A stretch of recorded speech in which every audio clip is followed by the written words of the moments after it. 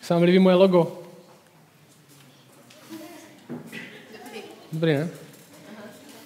Minule jsem ho neměl, tak jsme v knížce Evangelium Janovo.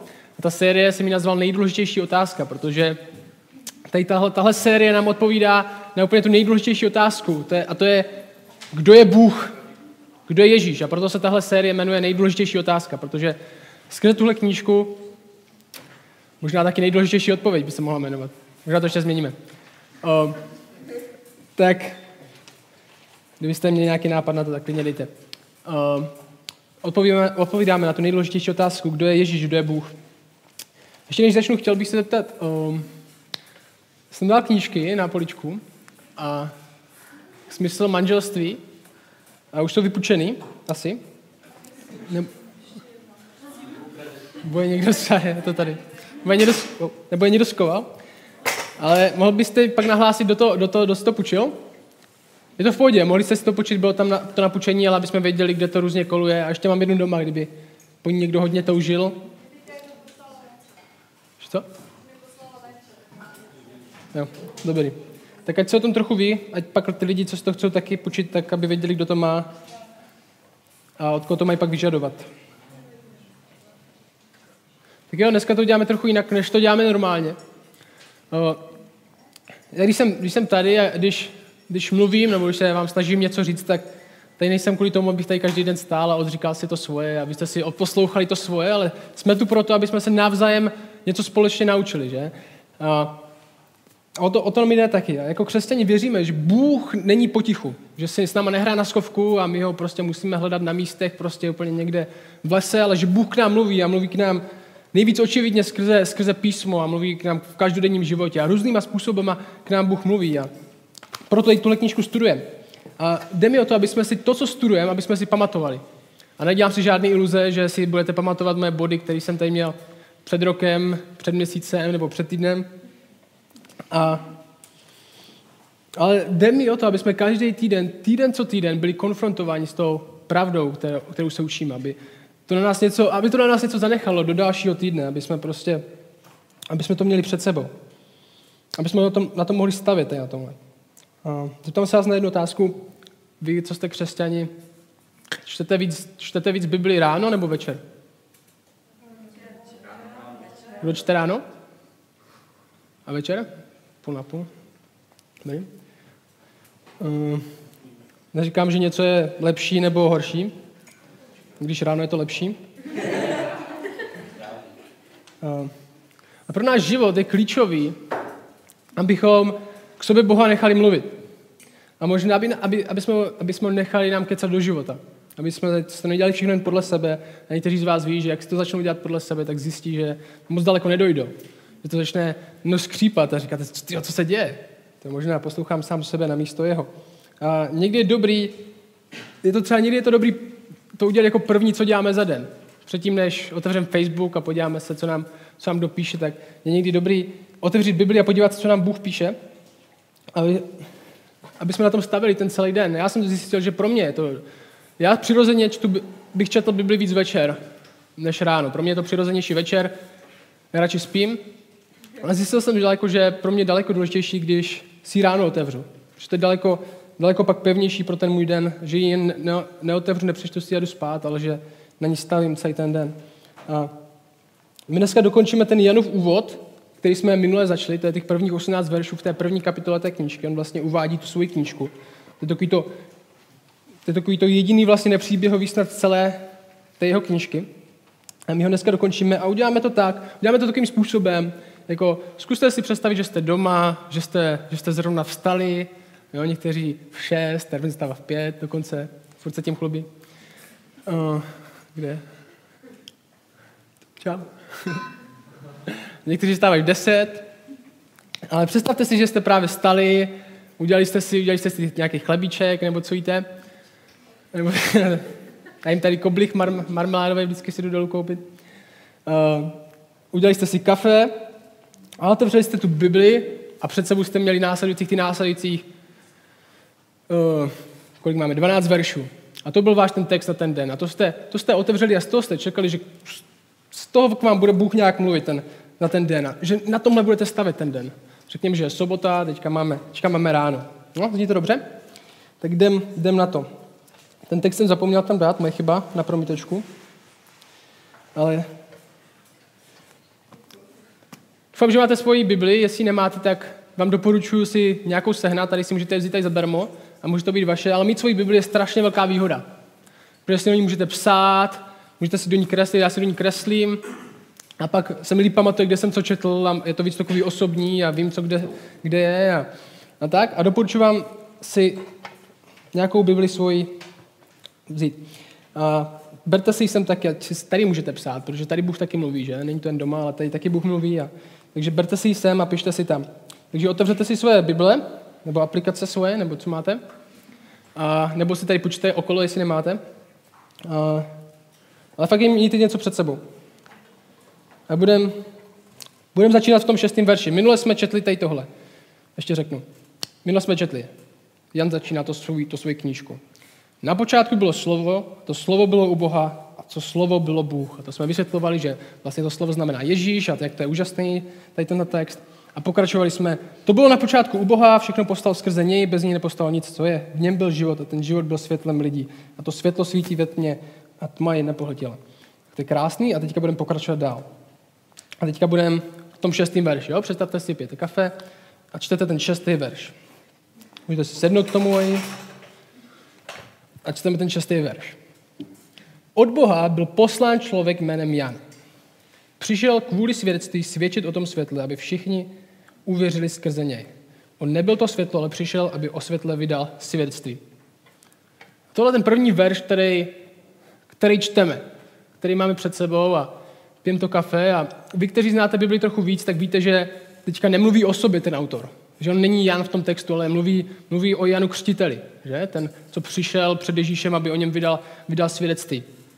A Jan Křtitel, vy co znáte, byl takový opravdový chlap, že on byl na poušti a jel tam nějaké kobylky a byl to takový asi naboušený chlap a furt to říkal lidem o pokání a byl takový docela drsný a hodně, hodně lidí ho následovalo a on tam přišli jaký náboženští lidi a on jim tam prostě řekl, co si myslí a já mu dokonce i a to bylo nebezpečné, protože schromažďovat dav v té době okolo sebe bylo za dobu římské říše strašně nebezpečný, protože to znamenalo, že jste, oni si mohli myslet, že chystáte spouru a mohli hodně tvrdě zasáhnout. A já mám jednu malou ukázku, když tam Míša pustí, jak možná jen křtitel vypadá.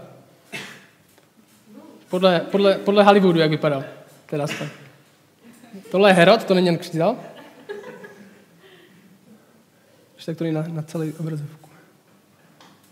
No, From Caesar. This descent must stop. For Pilate and Antipas, any gathering of people is a threat. Repent, and your sins shall be forgiven. At the river Jordan, crowds flock to John the Baptist. I baptize you ready for the new kingdom. As you are cleansed. So all Israel shall be cleansed. Here, here, I'm waiting.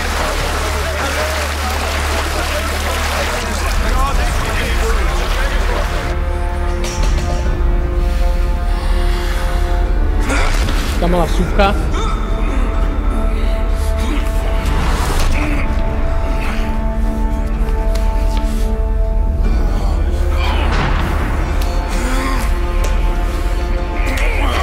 Pilat Fonski. You said there was trouble in the desert. The people are flocking to this wild man, John. They think he's a prophet. Some even call him the Messiah.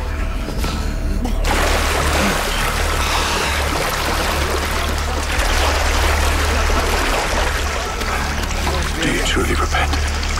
God's axe is ready. Every tree that does not produce good fruit will be cut down and thrown into the fire. Nedrstnej klamie. All flesh shall see the salvation of God!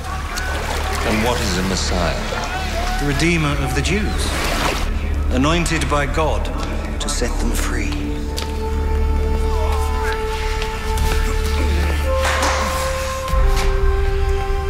Then you need to keep an eye on your Messiah.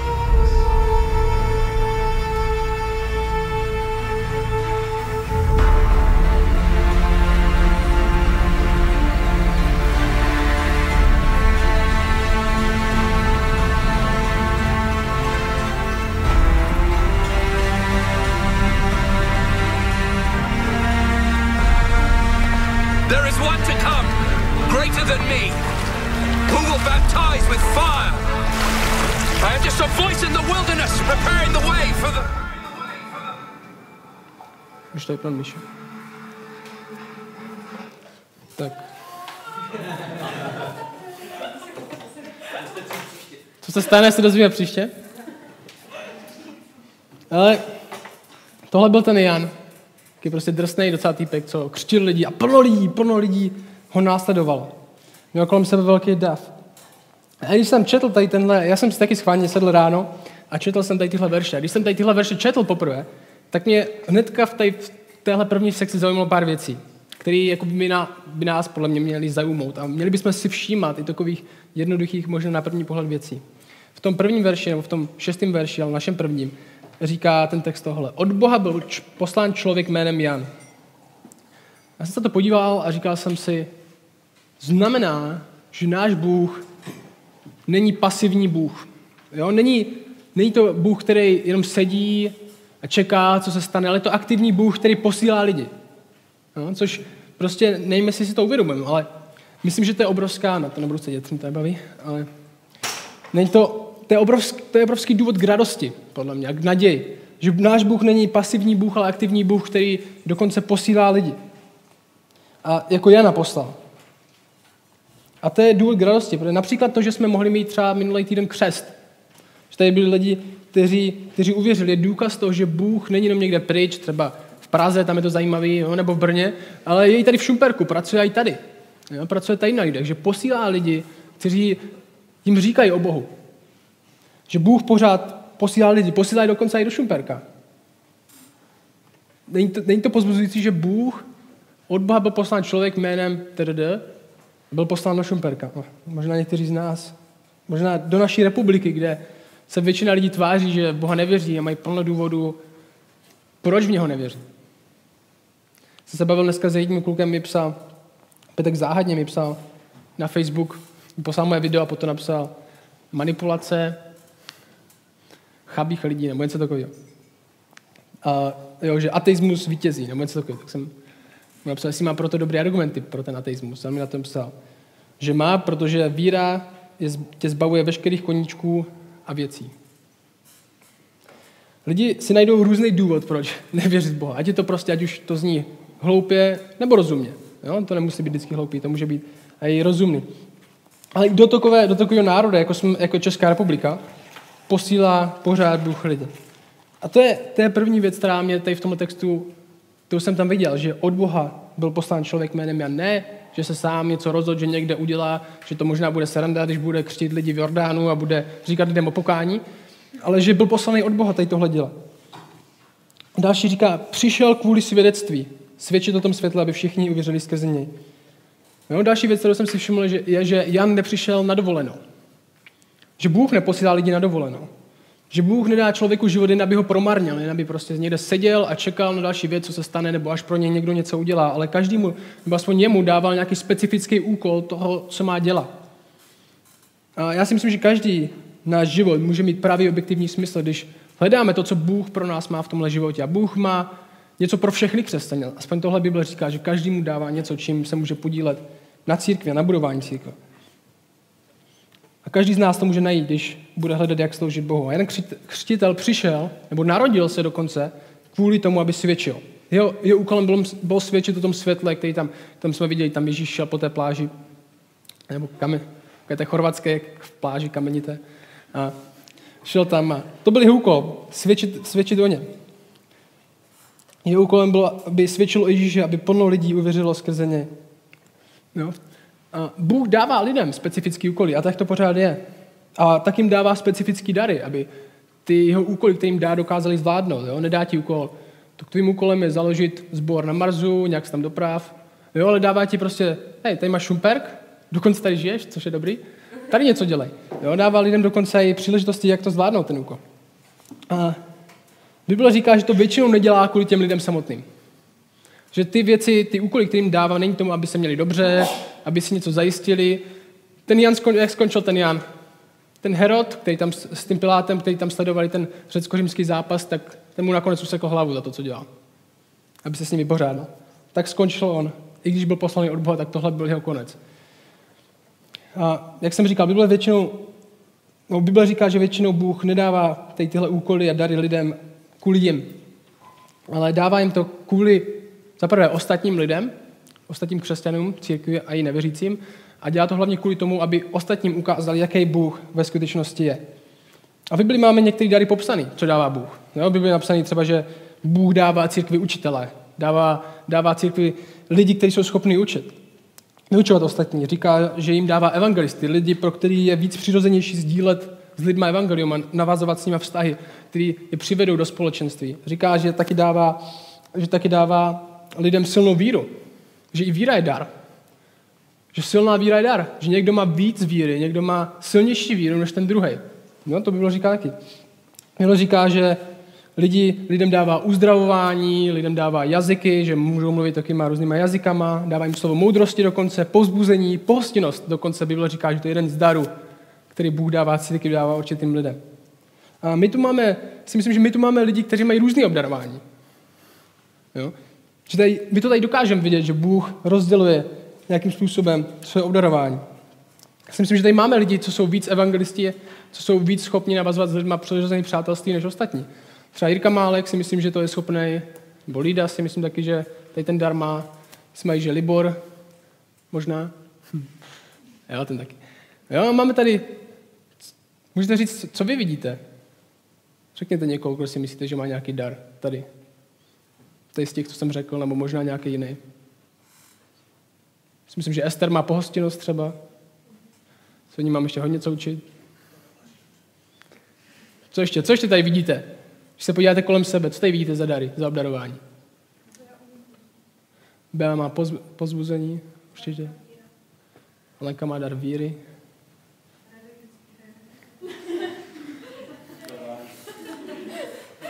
No. A máme tady, my tady máme všechno možné kolem sebe. A musíme se naučit, musíme se naučit to pořádně identifikovat a pozbuzovat se v tom navzájem. A my potřebujeme evangelisty. A Bůh říká, což je zajímavé, já vám dávám třeba evangelisty pro dobro církve. To, co to znamená, protože evangelisti mají mluvit s těma ostatníma, ne? A Bůh říká, já vám dávám evangelisty a všechny tady tyhle lidi pro vaše vzájemné dobro. Jo, my potřebujeme evangelisty, protože my je potřebujeme, aby oni nám pomohli, jak mluvit s lidma. Protože to není jenom jejich úkol, ale náš. A oni jsou nám dáni k tomu, aby nám pomohli. My potřebujeme lidi víry, aby nás dokázali povzbudit. My potřebujeme lidi, kteří jsou pohostinní, aby nám ukázali pohostinnost a možná nakupili nás k tomu, aby jsme taky něco dělali. V Bibli říká, a pošlo Pavel, když píše církvi a říká jim, tyhle dary vám Bůh dal, tak jim taky říká, že, že Bůh dává dary lidem, aby mohli připravit ostatní k dobrému dílu, aby mohli ostatní budovat v jednotě. Jo, že Bůh, jestli máš nějaký dár, jestli máš něco, co můžeš dělat, tak Bible říká, že Bůh ti to dává, abys ostatní mohl pomoct v tom, v čem ty máš dár. A Bírka mi mohl pomoct jít za lidma a mluvit s nima. Abych já vám třeba mohl pomoct, jak třeba rozumět tady těmhle věcem. Aby Radek někoho naučil hrát na kytaru. Aby byla naučila další lidi, jak můžou další lidi pozbuzovat. Jo? Zkusme nad tím přemýšlet. Bůh vám dává něco. Jste poslaní od Boha, abyste něco dělali. Stejně jako Jan, i když má, máme rozdílné úkoly. On říká, přišel kvůli svědectví, svědčit o tom světle, aby všichni uvěřili skrze něj. Aby všichni uvěřili skrze něj. To je další věc, kterou jsem tam viděl. A někdy vás, když jdete tady tohle ráno, tak někdy vás tam netrefí tolik věcí, jo? v jedné větě deset. A, ale někdy jo. A je důležité se dívat na ty slova a přemýšlet o nich fakt pečlivě. Já jsem viděl, aby všichni věřili skrze něj. A já jsem si to napsal, Bůh dělá zázrak v lidech. To on jim dává, on jim dává víru, a dělá to, ale dělá to většinou skrze nás. Skrze lidi, který pošle. A já jsem si pod tím napsal, tyjo, jsme na to připraveni? Protože myslím si, že je jednoduchý věřit, že Bůh zachraňuje lidi. Jo? Někteří lidi tomu věří, někteří ne, ale myslím, že tomu je celkem jednoduchý věřit. To je takový, Bůh si to dělá tak, jo. Ale co je těžší, je Bůh si to dělá skrze nás. Bůh si to nedělá tak, Bůh si to může dělat, jak chce. Jo? To, si, to si řekněme na poprvé. Bůh si může zachránit, koho chce a dělá to, jak chce. Ale Bible nám říká, že primárně, jak Bůh zachraňuje lidi a jak se dává poznat ostatním lidem, je skrze svoje lidi. Skrze lidi, který pošle. Věříme, věříme doopravdy, že nás Bůh může použít. Ne tak jako v hlavě, ale když se podívám na to, co dělám, na to, jak žiju život, žil by takhle člověk, který pevně věří tomu, že Bůh skrze něj bude pracovat.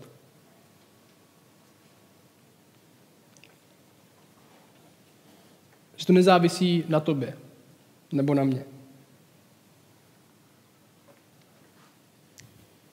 Zkuste se nad tím zamyslet, to je fakt, to je, to je důležitý. A Bible, když ji čteme, tak nás musí někdy takhle trefit.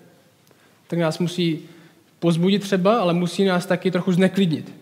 Jo, Bůh pracuje skrze lidi, očekávám, že bude pracovat skrze mě, nebo tak čekám, že si něco udělá, tam ten je takový známý, ten člověk, tak on si tam dovede ty lidi, ale čekám, že vůbec bude pracovat skrze mě, já nejsem nic. Jsem jenom obyčejný člověk. Možná máme někdy takový, takový pochyby, ale nikdo z vás není jen takový obyčejný člověk v Božím království. Všichni jste součástí, my všichni jsme součástí církve. A skrze všechny z nás, jestli jste křesťaní, tak Bůh pracuje a ukazuje se ostatním lidem.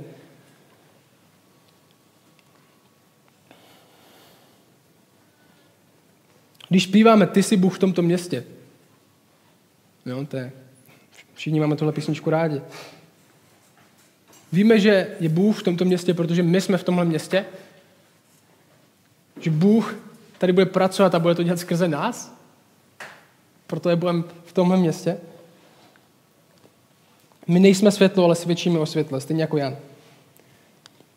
A jak jsme viděli, Jan byl velikou osobností, měl tam velký dav, pravděpodobně možná ještě větší než v tom filmu, měli malý rozpočet.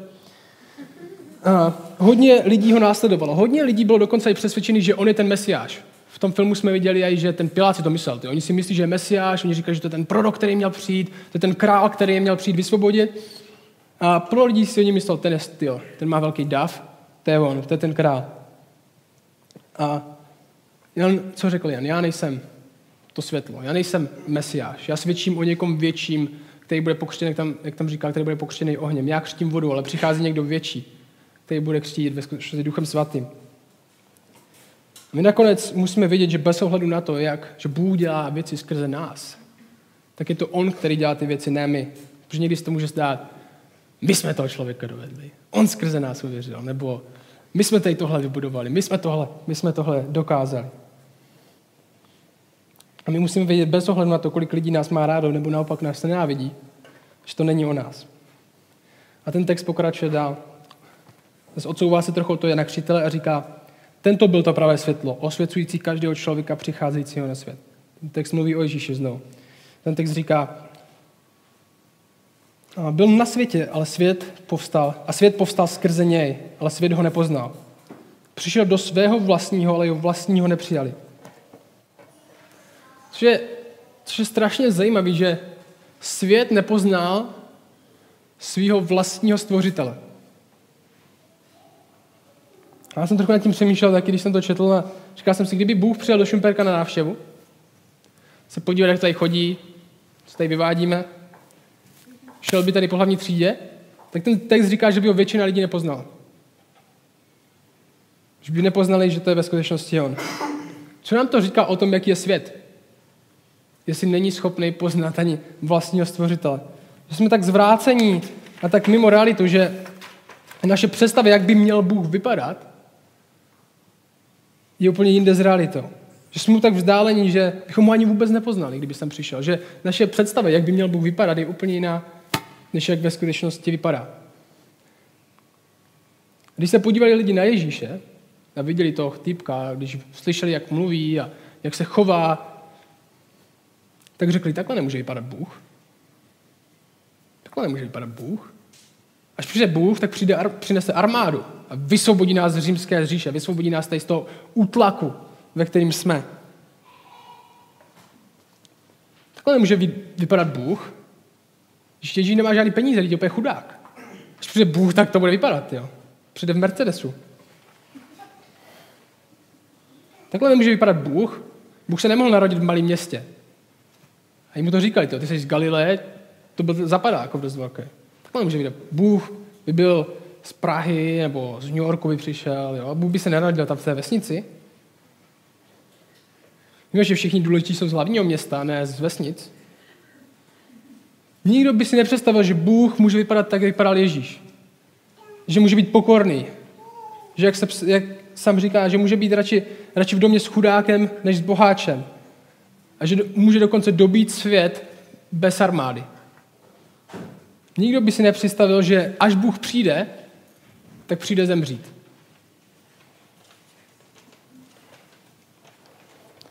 Jak ho teda někdo může poznat? Jak někdo může teda ho někdy přijmout? Jak ho někdo může spatřit pro to, co, kdo doopravdu je? Já si myslím, že ten, ten text nám na to dál odpovídá. On, on pokračuje ten text dál a říká, přišel do svého vlastního, ale jeho vlastního nepřijali. Jeho vlastní, to byl jeho výtvor, ho nepřijal. Ale těm, kteří ho přijali, dal právo být božími dětmi však. Všem těm, kteří věří v jeho jméno. Teďka tam je, kdo to je, kdo v něho uvěřil. Ten text říká. On říká, tihle nejsou narozeni z krve, ani z vůle těla, ani z vůle muže, ale z Boha. Ten text říká v podstatě, že Bůh nám musí otevřít oči k tomu, aby jsme ho viděli proto, jaký doopravdy je. Ta pasáž říká, první věc, co říká, tihle lidi, co ho poznali, co ve skutečnosti viděli, jaký, že, to, že, to, že, to, že to je on, tihle lidi nejsou narození z krve. Myšleno, ty boží děti nejsou narození z krve, což znamená, že jen proto, že se narodili ve správné rodině, neznamená, že jsou automaticky boží děti.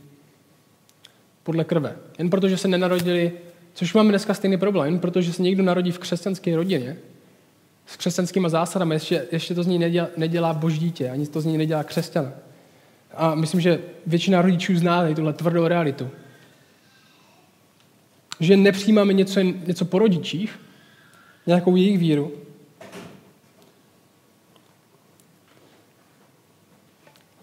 A myslím, že rodiče fakt tady tohle asi nejvíc ví.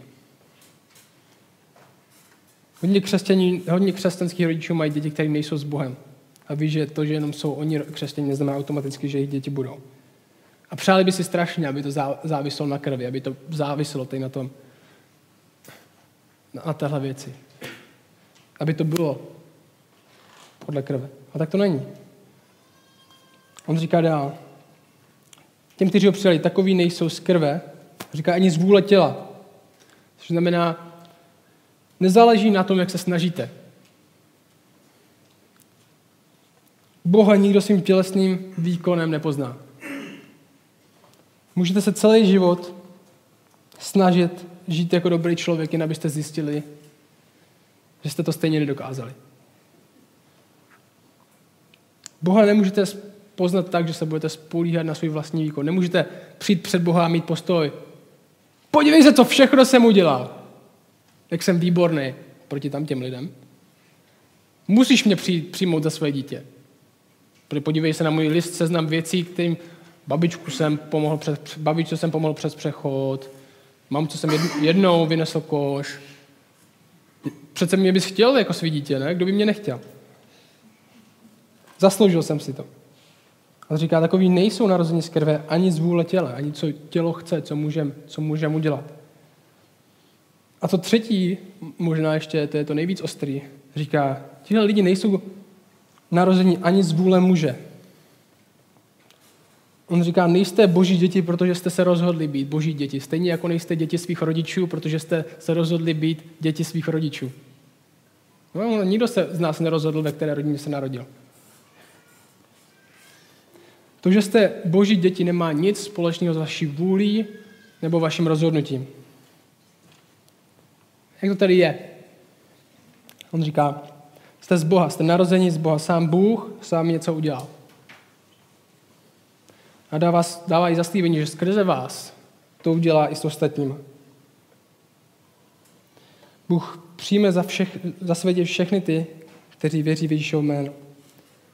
A dělá to tak, že pracuje skrze lidi. Že na sebe ukazuje skrze nás. Skrze své děti, kteří ukazují na světlo a na pravdu.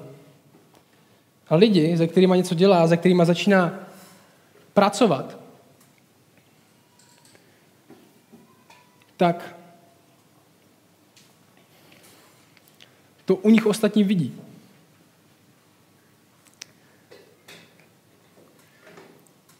Vidí, já si myslím, že hodně Tady tohle je většinou náš, Naše zkušenost, když děláme třeba angličkem, kdy třeba většinou poprvé lidi se setkají s věřícíma lidma. Protože tady můžete v podstatě žít v České republice celý život bez toho, aniž byste potkali někdy nějakého křesťana. A na angličkem hodně lidí poprvé pozná vyloženě křesťany, že vidí, že tyjo, to, jsou, to jsou věřící lidi. Já jsem nikdy si nemyslel, že tady ještě existují. A tihle lidi většinou vidí, že na nich je něco jiného, že, že, že to neumí úplně vysvětlit. To jsem slyšel už hodněkrát, že tyjo, tady je něco, co, co já nemám a nevím úplně přesně, nedokážu to poznat. Vidí, že nejsou stejní. A lidi, na kterým Bůh pracuje, kterým otvírá oči, tak to někdy to je hned, že Bůh někoho zachrání a že se někdo narodí tady z boží vůle, ne ze svojí, a že se narodí, u někoho je to dlouhý proces. A tyhle lidi nakonec vidí, že ten Ježíš možná není takový blázen, jak si mysleli. Že na něco možná je. A že to fakt možná takový obrovský rozdíl mezi temnotou a světlem. A Bůh otevírá, takhle to dělá Bůh. Bůh otevírá lidem oči, aby viděli Ježíše pro to, co ve skutečnosti je. A tyhle děti jsou pak narození z boží vůle a ne ze své, protože Bůh jim otvírá oči k téhle skutečnosti. Co my teda? Co máme dělat? Bůh si to dělá? To je taková velká otázka, co se lidi ptají. Když to Bůh všechno udělá, proč teda máme dělat misi? Proč máme chodit a říkat lidem o Bohu, když Bůh si to všechno dělá? Ne? Není to dobrá otázka? Jestli to Bůh udělá, jestli se oni nemůžou rozhodnout, není to podle, není to z rodiny, není to, ne, že se nemůžou snažit, není to ani z jejich vůle. Proč mi teda musíme říkat ostatním lidem o Bohu? Tak první věc je, že protože nám Bible říká, že to máme dělat. Myslím, že to je první očividná věc. Druhá je, že ta Bible nám říká, že skrze nás to dělá Bůh. Že ať už se mluvíme o předurčení nebo o vyvolení, si Bůh vyvolil lidi ke spasení, tak si taky Bůh vyvolil lidi, skrze který to spasení přijde. A to jste vy, jestli jste křesťani. A tomu, a tomu věřili apoštolové, kteří zakládali církve a kteří chodili a zakládali zbory, zbory a říkali strašně, strašně moc lidem o Bohu. Když pa, Pavel toho je největší příklad. Pavel kázal ve vesnicích, ve městech, stoupil si na náměstí a kázal evangelium, říkám, tohle Ježíš, čiňte pokání, věřil k tomu absolutně, že to má lidem říkat. A ve skutcích je strašně zajímavý verš. Tam je, že Pavel stojí, káže evangelium a tohle je tam napsaný. Když to pohané uslyšeli, začali se radovat a oslat pánovo slovo. A všichni, kdo byli přetočeni k věčnému životu, uvěřili. My věříme, náš úkol, náš úkol není rozhodovat, kdo je vyvolený, kdo je přeturčený a snažit se debatovat o těchto věcech. Náš úkol je, aby jsme hlásili evangelium, Bůh si to rozdělí sám. To je jeho práce, ne naše. My víme, že Bůh otvírá oči a že to dělá skrze nás. Můj oblíbený kazatel, tahle, tahle citace, co řekl, se mu přisuzuje, není úplně jasný, že to řekl, ale to není, nemění nic na to, že to je dobrá citace. Tak on říkal, kdyby Bůh dal všem křesťanům, těm vyvoleným nebo předurčeným, na zada žlutou čáru, tak by šel zkazatelný a začal zvedat trik, aby poznal, kdo je křesťan. Ale protože to Bůh neudělal, tak káže evangelium, křesení přijdou. Náš úkol není říkat lidem, kdo je vyvolený a kdo není. Náš úkol je kázat evangelium a vyvolení přijdou. Bůh otevře oči skrze nás. Tak to je, tak to je tady v tomto textu a tak je to v dalších strašně moc textech. Pokračujeme dál. Čteme zase dál. Trochu jsme si oddychli. To dlouhá snídaně. Verš 14. To slovo se stalo tělem a přišlo žít mezi nás. To je to slovo, o kterém říká Jan na začátku. Na počátku bylo slovo, to slovo bylo u Boha a to slovo byl Bůh. A Jan říká, Bůh se stal tělem a přišel žít mezi nás. A tohle na samotný kázání. Ale skrze tuhle knížku uvidíme, jak to vypadá. Jo, skrze tady toho Jana uvidíme, jak to vypadá, když Bůh vstoupí mezi nás. Jak, vypadá, jak by to vypadalo, kdyby Bůh chodil mezi náma? Co by říkal? Co by dělal? Kdyby se mohl modlit, jak by se modlil, jestli je vůbec možný? A Bůh dělal věci, uvidíme, které bychom absolutně nečekali. Jako svoji nejbližší partu si zvolil rybáře a mladý kluky. Si řekli, kdyby přišel Bůh, tak by si šel, nevím, za nějakým chytrým člověkem, který by s ním chodil a dokazoval to, nebo On si zvolil rybáře a mladý kluky. Tady v těch prvních kapitolách si upletl byč a vyhnal lidi z chrámu. A jako první zázrak, co udělal, takže tak vyrobil na svatební párty několik set flašek vína, aby bylo veselo. Tohle Bůh udělal jako první. Až to budeme číst, to bylo fakt několik set flašek, co udělal. A to byl první zázrak, to je dobrý. Co si zvolím za první zázrak? Dám několik set flašek alkoholu. A my uvidíme skrze tohle knížku, jak to vypadá, když Bůh vstoupí mezi nás, jak to vypadá, jak by to vypadalo, kdyby Bůh tady chodil v Šumperku nebo někde, my uvidíme v té době, jak by vypadalo, kdyby otevřel pusu. No, není to zajímavé, jak by vypadalo, kdyby Bůh dokonce byl člověk a mohl říct, co vidí a co se děje. A, a to uvidíme. A hodně z vás ví, co se stane, ale myslím, že je dobrý se na tím pozastavit trochu. Půjdeme dál. On říká dál, tohle následující. Slovo se stalo tělem a přišlo žít mezi nás. Spatřili jsme jeho slávu, slávu, jako mal otoci, jednorozený syn, plný milosti a pravdy. On říká, když jsme, když jsme se na ně podívali, tak jsme věděli, že to je boží syn. Ne protože byl, byl náramný, ne protože byl honostný, nebo strašně pěkný, nebo strašně hubený, nebo strašně tlustý, ale protože na něm bylo něco, co jsme úplně nedokázali vysvětlit. Já si myslím, že když se upřímně, ať už jste věřící nebo nejste věřící, podíváte na to, jak to vypadá, kdyby Bůh otevřel pusu a ve skutečnosti něco řekl, tak to sami uvidíte. Že na něm je něco, co nedokážete vysvětlit. Na tom, co říká. Bible nám říká, že jsou dva typy lidí. Že jsou lidi, kteří při, při styku se světlem, no to je ten Ježíš je světlo, prohlédnou a uvidí pravdu pro to, jaká je. Uvidí Ježíše a řeknou si, ty Není lhář, není ani blázen, takže to znamená, že musí mluvit pravdu. I když se jim odhalí jejich vlastní hřích a jejich vlastní nepravost, tak vidí, že v něm je pravda. A, jsou, a druhý typ lidí je, který se podívají na světlo a utečou zpátky do tmy, protože se jim nelíbí, jak ve světle toho, ve světle světla, jak oni vypadají. A utečou zpátky do tmy. Ti, kteří v Ježíši vidí smysl a pravdu a ti, kteří se možná bojí tomu, co by to znamenalo, kdyby to byla pravda. A my z nás, kteří jsme křesťaní, to můžeme dosvědčit, ne? Když tohle čteme, na počátku bylo slovo, to slovo bylo u Boha, to slovo byl Bůh, to bylo na počátku Boha. Všechno povstalo skrze něj a bez něj nepovstalo nic, co je. V něm byl život a ten život byl světlem lidí a světlo svítí ve tmě a tma jej nedokáže pohltit. Když teď tohle čteme, tak v tom vidíme pravdu. To není jen další knížka, ale je to něco, co nám dává smysl. I když to neumíme vysvětlit. Máte ten pocit? Že nám to dává smysl, ale ve skutečnosti to, to je fakt těžký, jako složitý. Ale je to pravda. Nevím proč. Vidíme v tom textu pravdu, vidíme v tom krásu možná, je správné slovo. A chceme, aby to viděli ostatní. Chceme, aby viděli, že Ježíš není jenom něco jak Sheldon z Big Bang Theory, který všechno ví a na všechno má odpověď. Ale že je daleko větší a hlubší než to. Když mluví, tak nejenom v tom pravda, ale krása, která nám dává smysl v tomhle světě. Chceme, aby ostatní to viděli taky. Že se Ježíš vymyká všemu rozumu. Není, Bůh není vůbec takový, jaký, jaký bychom očekali. A pokračuje dál v tom textu. Říká, Jan o něm vydal svědectví. Jo, to je ten Jan Křtitel zase. A volal, toto je ten, o něm jsem řekl, ten, který přichází za mnou, je přede mnou, neboť byl dříve než já. Jo, tady znova, znova vidíme, že Jan říká, není to o mně, všichni si myslí, že jsem král, že jsem mesiáš, já jsem tady, abych připravil cestu jemu. On je větší než já. Na něho se dívejte. Ne na mě. Já doufám, že se na něj budete moci dívat skrze mě. To je naše to je naše úloha, aby ostatní viděli Ježíše skrze nás.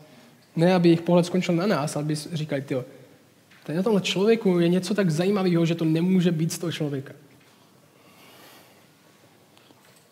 Pokračuje. Z jeho plnosti, z Ježíšové, jsme přijali, jsme všichni přijali a sice milost za milost. Jaká říká zajímavou větu. Zákon byl dán skrze Mojžíše, Milost a pravda však přišla skrze Mesiáše Ježíše. Zajímavý. Říká, Možíš nám dal zákon, Ježíš nám dal milost. O čem to mluví? Z Bible víme, že hlavní funkce zákona, jo, těch prvních pět knížek Bible, kde je přes 600 zákonů, co, co máme kdo dělat, jak se máme chovat, je tam mají desatero v tom, že? Ne, že nekrať a tak. Takže smysl tohle zákona, ta hlavní funkce všech těch pravidel, které jsou v Bibli, nebyla ta, abychom skrze tyhle pravidla byli zachráněni, když je všechny dodržíme. Funkce všech pravidel Bibli není to, aby jsme skrze celý dodržení toho zákona my byli zachráněni nebo aby jsme byli ve správném vztahu s Bohem. Nebo abychom se za jejich pomocí dokonce dostali do nebe. Když to dodržíš, tak se dostaneš do nebe. Ale jejich hlavní funkce byla ukázat nám vlastní hřích a naši vlastní nedostatečnost, že je nemůžeme splnit. Když vám řeknu nelži, tak vám to nedá sílu nelhat. Tak vám to jenom ukáže, že jste lhář. Sadím se, že nikdo z nás to týden teďka nevydrží nezalhat. To zákon nelži nám nedá sílu nezalhat. Jenom nám ukáže na to, že jsme lhář. A Bible říká, tohle je funkce zákona. Nám ukázat, že jsme lháři, že jsme ten zákon porušili, ne aby jsme skrze něj došli zachránění nebo správného vztahu s Bohem. A to byla funkce zákona. Bůh na, Bible říká, že Bůh nás musel zachránit skrze Ježíše.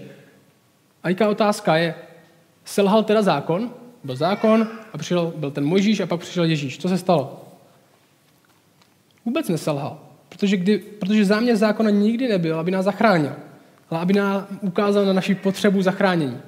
A to je dost důležité, aby jsme věděli jako křesťané, že zákon nebyl dán k tomu, aby nás, aby nás, aby nás zachránil, ale byl dán, aby ukázal na naši potřebu být zachráněni, na naši potřebu spasitele. A poštol Pavel říká například tohle lidem. A tam oni mají přesně tady tuhle otázku. Ty, a to zákon teda? Je Ježíš zákon, jak to funguje? On jim říká, je tedy zákon proti božím zaslíbením? Jo, co teda s tím zákonem? Říká, v žádném případě.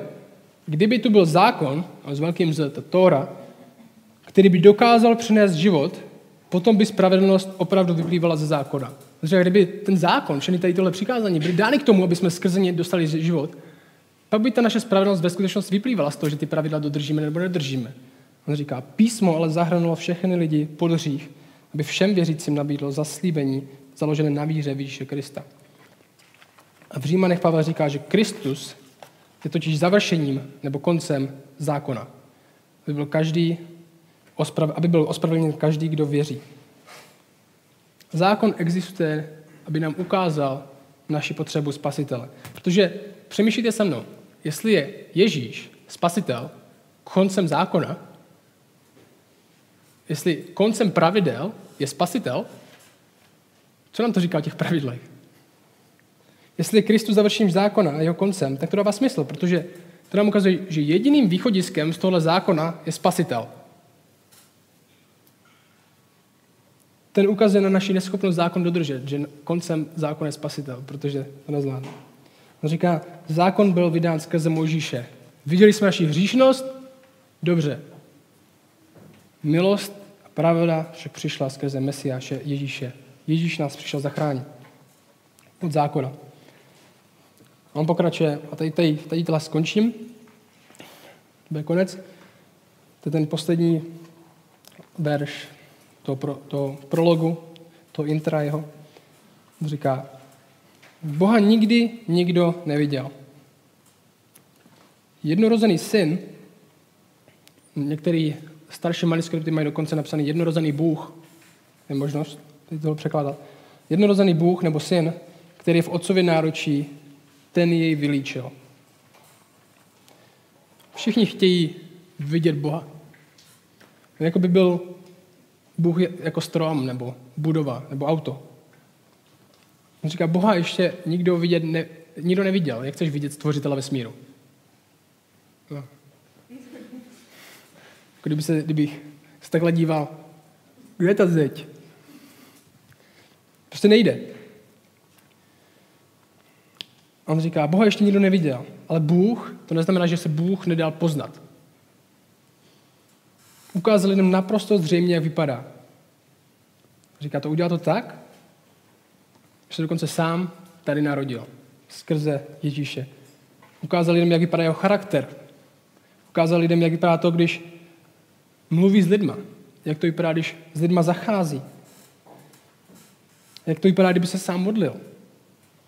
Jak vypadá jeho vztahy, jak vypadá jeho postoj k světu, jak vypadá jeho postoj k ženám, jak vypadá jeho postoj ke kamarádům, jak vypadá jeho postoj k nemocným, jak vypadá jeho postoj k těm, co mají malou víru, jak vypadá jeho postoj k těm, co využívají peníze na špatný účely, jak vypadá jeho postoj k těm, co využívají peníze na dobrý účely. Jak vypadá jeho postoj k těm, co se tváří nábožensky, ale ve skutečnosti Boha neznají. Jak vypadá jeho postoj k těm, kteří o sobě ví, že Boha neznají, že jsou hříšníci, ale hledají. Bůh nám ukázal, jak vypadá skrze Ježíše. Skrze Ježíše, co nám jen říká, vidíme, jaký Bůh doopravdy je. A proto je tak důležitý se o něm bavit. A proto se tady o něm bavíme každý týden. O tom toto je, protože chceme vědět, jaký je Bůh. Jestli přistoupíme aspoň z 1%, z 10% na tu myšlenku, že Bůh ve skutečnosti existuje, tak stojí poznat za to, jaký teda je. Proto nás tak strašně zajímá Ježíš. A proto se těším na tady tuhle knížku, protože nám to ukáže, jaký Bůh je. Budeme ho mít tady dokonce z masa a kostí. Se tak často nestává, aby Bůh byl z masa a kostí. Vidíme, jak chodí mezi lidmi. Vidíme ho, jak ukazuje na to, jaký Bůh ve skutečnosti je. A odpoví nám na tu nejdůležitější otázku, kdo je Bůh?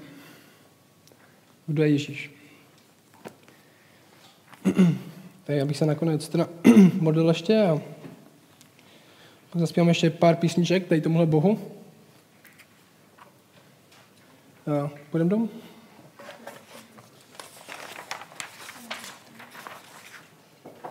Tak oče, já ti díky, já ti děkuji za Bibli a děkuji ti za to, že jsi poslal Ježíše, skrze kterého můžeme poznat, jaký doopravdy ty seš.